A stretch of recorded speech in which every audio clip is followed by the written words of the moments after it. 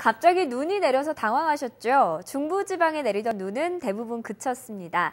연일 내리는 눈 때문에 불편하셨을 텐데 이제 당분간은 별다른 눈비 소식 없이 대체로 맑은 날씨가 이어지겠습니다. 내일쯤에는 세차 시원하게 하셔도 좋을 것 같습니다. 하지만 한파는 계속되고 있는데요. 경기 북부와 강원 영서, 충북 제천에 한파주의보가 발효 중인 가운데 내일도 서울 아침 기온이 영하 7도, 파주가 영하 14도까지 떨어지면서 살을 애는 추위가 이어지겠습니다. 이 시각 그런 모습입니다. 현재 서해안 일부 지방에만 약하게 눈이 이어지고 있는데요. 곧 그치겠습니다.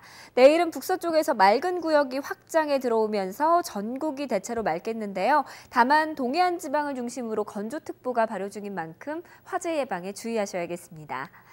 자세한 내일 아침 기온 살펴보면 서울이 영하 7도, 춘천 영하 13도까지 내려가겠고요. 청주 영하 5도, 전주 영하 2도 예상됩니다.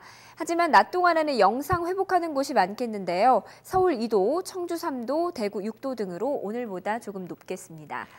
네, 추위는 모레 낮부터 점차 누그러지겠고요. 당분간 대체로 맑겠습니다. 날씨 정보였습니다.